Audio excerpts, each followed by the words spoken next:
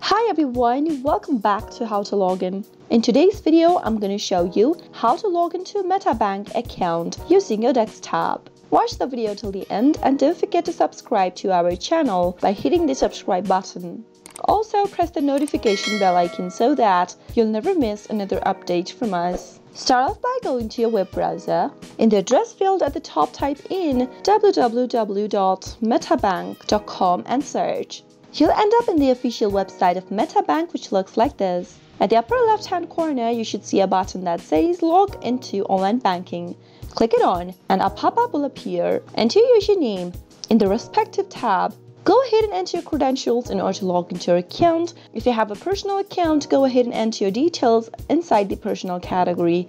Similarly, you can also log into your business account by entering your credentials right below the business online tab. In my case, let me type in my credential in the personal tab. Start by typing in your username and then head over to the password text field and type in your password. Double check your password by clicking on this little eye icon in the right corner of the box. In case you don't remember your password, you can click on this forgot password link right beneath the box and follow the instructions to reset to a new password. If you've not enrolled for online banking yet, you can tap on this ready to register your account link follow the instructions to do so. Finally, after typing in all of the information, click on Go in order to log into your online account on MetaBank. That is how it is done. I hope you found the video to be helpful. If it was, go ahead and give us a thumbs up. Comment down in the comment box if you have a question or a feedback for us. I'll soon be back with more tutorial episodes again. Thank you for watching.